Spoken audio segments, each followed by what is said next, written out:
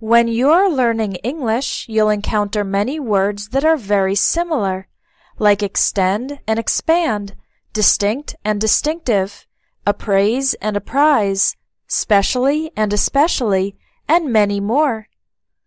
Although you might understand the general meaning, you'll probably wonder, what's the real difference? When do I use this word and not that one? Then, when you speak, you hesitate because you're thinking, is this sentence correct or am I making a mistake by using the wrong word?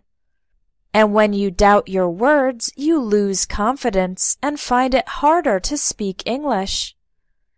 To find out the difference between confusing words, you could ask a friend or teacher, but they might have difficulty explaining it clearly with examples. You can check a dictionary, but when the words are very similar, the plain definition isn't very helpful. You could also search for answers online, but this can leave you even more confused than when you started. That's where the ebook 600 plus confusing English words explained can help you. It makes the differences between these words simple, clear, and easy to understand.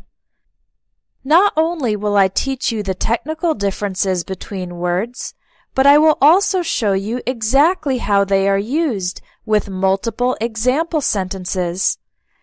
When you see these words in context, the differences become clear, so you can get rid of your doubts and use these words with confidence. 600 plus confusing English words explained is perfect for both intermediate students who will learn many new words in the book and more advanced students who want to perfect their English by mastering the subtle differences between similar words.